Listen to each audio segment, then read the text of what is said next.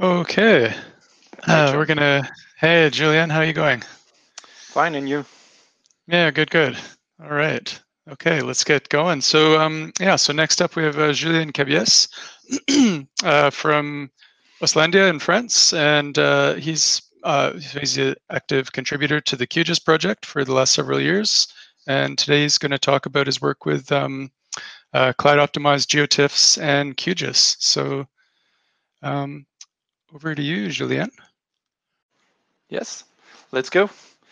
Okay, uh, good morning, everybody. Uh, yes, my name is Julien Cabieces, and like uh, John said, I work at Oslandia, so I wanted to talk to you about the cloud optimized uh, GeoTIFF. Um, and so the COG, Cloud Optimized GeoTIFF, is a raster file format and it's uh, optimized for uh, object cloud storage. So I'm going to describe uh, what's beyond the hood and how it works a little bit. And I will make a quick demonstration with QGIS how to read a, a COG file into QGIS, open and read file into QGIS. So what is COG exactly? Well, it's um, it's a, like I said, it's a raster file format and it's tiled like you maybe already know like uh, TMS. And uh, it's only one file, but the inner structure of the file is tiled. It uh, supports overviews, so you can have different resolution um, and uh, in order to have a quick access and quick speed visualization of your file at different resolution. Uh, the technology relies on um, on a new HTTP 1.1 standard feature, which is called the get range request, which allows to retrieve uh, a piece of file, only a subset of the file, uh, file, a part of the file, only a few bytes from a file, um, directly with HTTP request. And so good things about this file format is that uh, GDAL is, is able to uh, read uh, and write this file. So when would you use the, the COG format? Well, um, it's relevant if you have a lot of raster that you want to store and uh, you want to share among uh, uh, people uh, and you don't want to care about infrastructure. You don't want to have to install a server. You don't want uh, to care about uh, backup, redundancy, the kind of things. So you go to your favorite cloud provider and you ask for what we call object cloud storage. And um, maybe normally it will help you reduce the storage cost and the infrastructure cost. It's also relevant, relevant if you want to retrieve only a subset of your raster meaning that you want to you have a, uh, for instance a, a, a, raster with uh, 13 bands and you want to access only a few bands uh, or if you want to access only uh, an extent inside the image and it's also interesting if you want to access raw data meaning that there is other standard uh, to deal with uh, already rendered tile like WMS or TMS but in the case of COG, it's really interesting if you want to access your raw uh, satellite image data, for instance. Just a few comparison. Well, COG, it's like uh, TMS, uh, but with raw data, uh, meaning TMS is already tiled, but it's in several files. Uh, for those who know TMS, here it's only in one file and you can store uh, raw data. And it's like also a w WCS, uh, without server. WCS Web Coverage Service is a standard that allows to stream um, uh, raw data uh, through HTTP uh, connection, but you have to install a server and you have to upgrade it, maintain it. You have to provide some resource like CPU and memory. Here in the case of COG, you don't have to have uh, any server or any software solution. Instead, you have to have uh, an HTTP server uh, which support the, the feature get range request. How it works? Well, uh, to make it work, you have to first generate a COG file. Uh, so you're going to take your raster image and you're going to use the GDAL translate command with the with the option dash uh, of cog. And then when you have generated your cog file, you're going to push uh, to the class using um, either a specific API, API or a, a web interface specific to your uh, to your cloud providers. Uh, a little words about the a little word about the the cloud.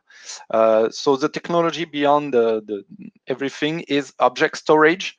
Object storage is um, allows to uh, store and fetch file uh, using HTTP GET and POST request using URL. So it's like a, a remote um, document uh, file server, uh, and you're going to access to your file using GET and POST request. So all the famous uh, cloud providers provide object storage like Amazon, Google, or Azure. For instance, Amazon S3, for those who knows, uh, is uh, an object storage service. And of course, there is a, an open source solution, which is called OpenStack.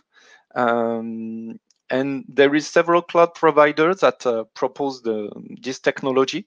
Uh, uh, OVH is one, for instance, but I don't know if it is well known um, outside of France.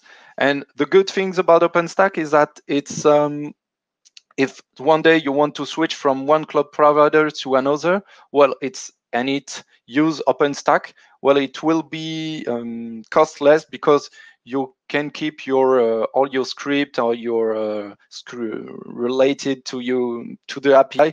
Everything will work when we switch to a cloud using OpenStack to another cloud using OpenStack.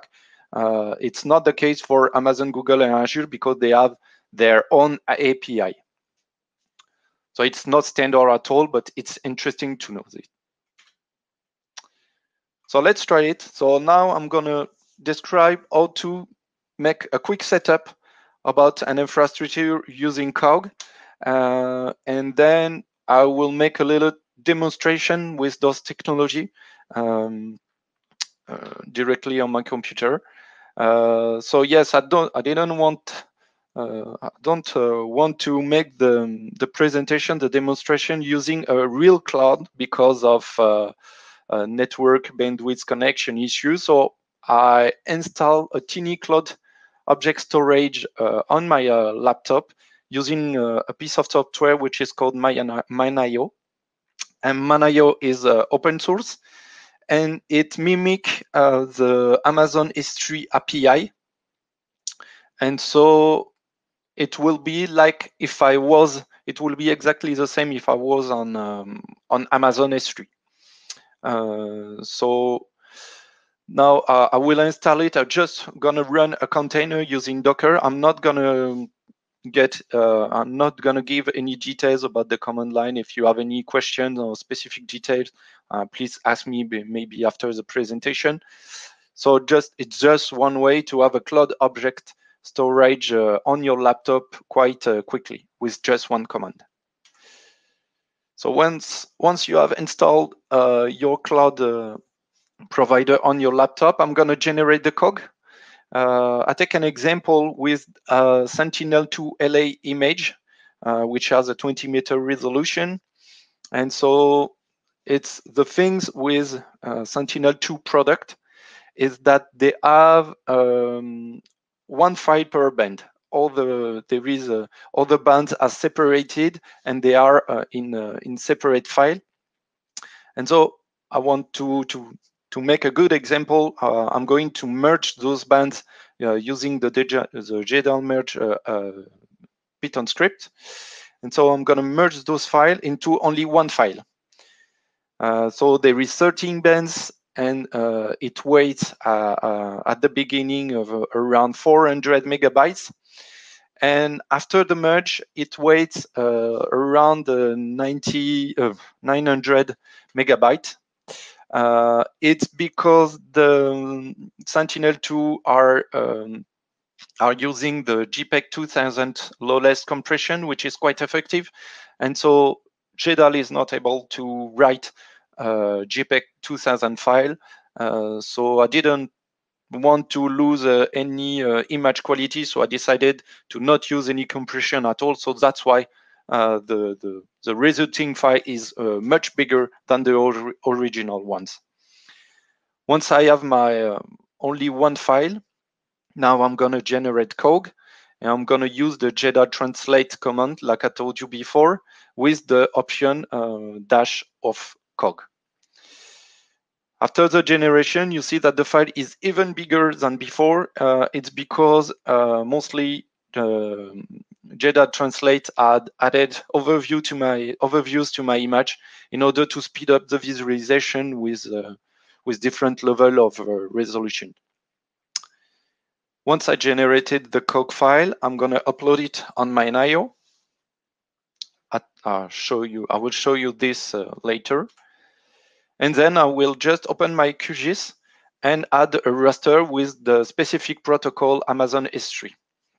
Uh, just uh, a little uh, information uh, is that you have to specific few environment variable uh, in order to make understand uh, GDAL and so QGIS that we are not targeting the the classic uh, Amazon S3 uh, environment uh, server, but we are targeting a server which is in locally in my machine.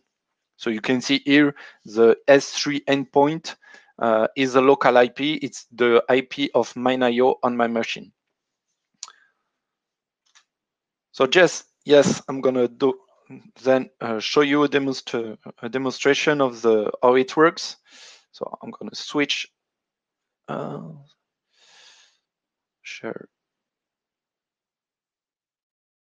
I'm going to switch uh, the screen and screen one. So yes, here you see the MinIO interface.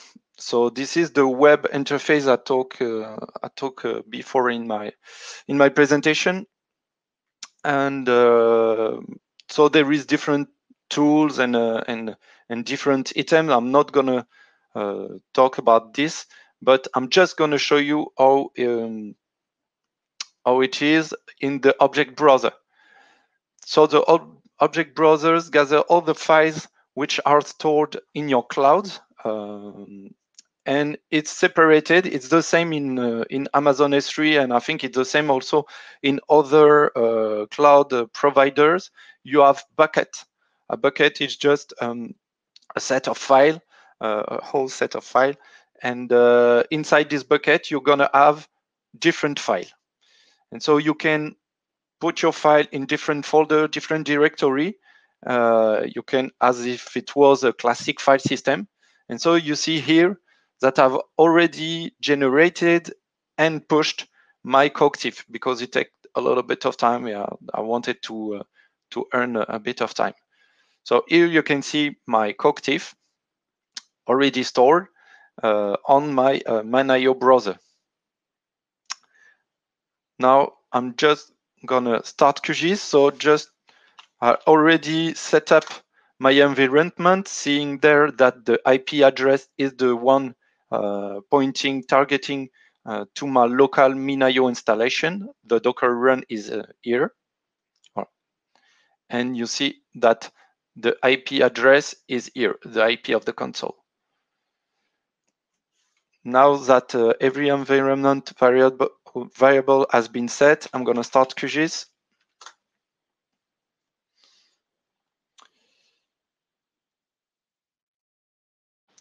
And I'm going to add um, the raster directly in my QGIS project in order to visualize it. So I'm just going to click like if I was adding a classic raster. I'm going to change to, uh, oh, maybe I could, I'm just going to switch in English, maybe.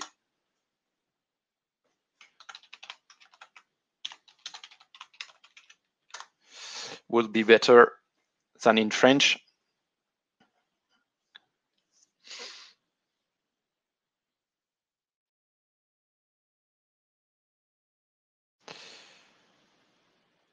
And so I'm adding a raster.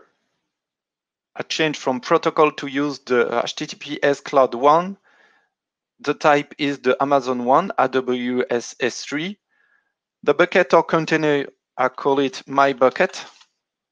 And the object key is the one that you see here. is the name of the file.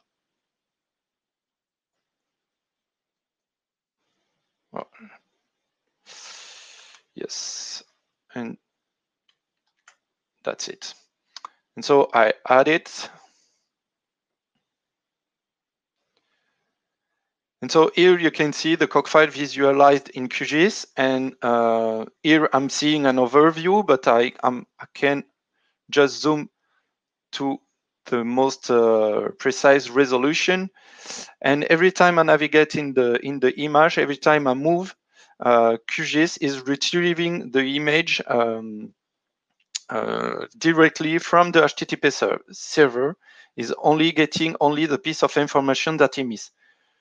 Just here, what is interesting here is that normally it's more uh, quick, it's more speed, it's more fluid, but I think this is uh, my PC have difficulties uh, while running uh, QGIS and um, and the the visual conference, the, the streaming StreamYard. So just here I'm browsing, and every time I browse, QGIS is only downloading the piece of information that it needs, meaning the three band one, two, three, and uh, the only information that it needs to cover the extent the correct viewport. So that's the good things. It's that I have 1, uh, 1.3 gigabyte file stored on the server, but I'm only retrieving a teeny piece of information that I need to just visualize it on my screen. Then I can switch from band 1 to 3 to other band like 4, uh, 5, 6, for instance. And so it's going to refresh and it's going to download uh, so only uh, the data needed to uh, cover my viewport. And so now I'm going, I'm, I'm currently seeing the band 456. Another cool thing is I can use the raster calculator to make a computation about the band and just display then in the viewport in the in the in the map area. So here I'm going to compute what we call an NDVI index for those who knows. Uh, so if I remember correctly, the formula something like that, and uh, divided by um, 8 plus 4. And that's it. So I'm going to create the on the fly the raster. I'm going to give it a name, NDVI, Okay. And so I have a new raster. Um, so the raster is computed according to two bands. So QGIS is going to download the data that it needs from these two bands, and it's going to make the computation on the on client side. So NDVI index for the information, it's um, it measures the quantity of vegetation for one pixel. So the brighter the pixel, the most likely it is a vegetation pixel. So there is good chance here that these are vegetation. And so, yeah, the good things about this is that you can make your analysis, choose the bands that you want. You make a different computation uh, uh, based on different bands, and still you don't have to download all the image and make the processing on the the image. You can just make it on the fly uh, on client side. Um, and so that's it, I think, for the presentation. Uh, for the demonstration, I'm going to switch back uh, to uh, to my presentation.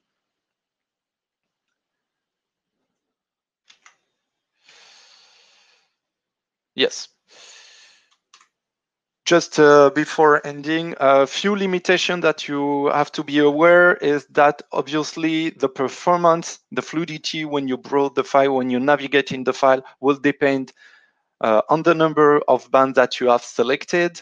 Uh, if you select one band, it will be uh, quicker, uh, more more fluid than if you want if you select uh, I don't know five six bands. depend also in the data type, meaning the number of bytes used to code one pixel. Uh, if it is on uh, 8 bits, uh, 16 bit, or 64 bit, well, it matters. Uh, well, obviously, it also depends on your bandwidth network connection. Um, it's something to be to be careful with before uh, switching completely to um, to a COG solution. And last one, but it's not really true. I think uh, it's your cloud provider, but normally the cloud provider have good, really good bandwidth network connection. But so there is more chance. Uh, it's more likely that the limitation will be on your side than, than uh, in, in on their side.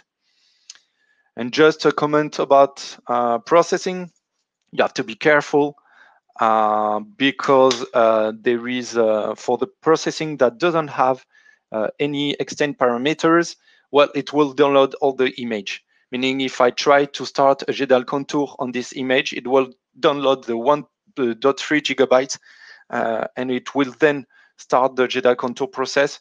Uh, so you you have to be careful with this. And one solution, if you want to just run GDAL contour on this part of the image, is you can use uh, the clip raster by extent before, just to extract the piece of information of raster that you want, and then you start your processing on this.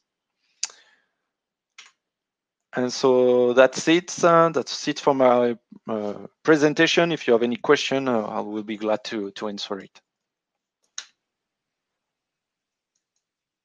Okay, thanks a lot. Fascinating. That's that's wonderful stuff. Um, so yeah, we've got a bunch of questions here. Um, so so the one that uh, a few people are upvoting is uh, how is the performance uh, latency of COG when hosting large amounts of raster data on an S3 object storage compared to server-based solutions? Um, huh. um, I really don't know how to answer this question. I think it will depend uh, obviously on the uh, on the server. I would say that mm, if I have to take a bet, I will say that Amazon will be better in any case because they have really good network bandwidth and it works. It's uh, the most famous one, the S3 object storage. So if I had to take a bet, I will bet on Amazon yeah. compared to any server storage. Okay.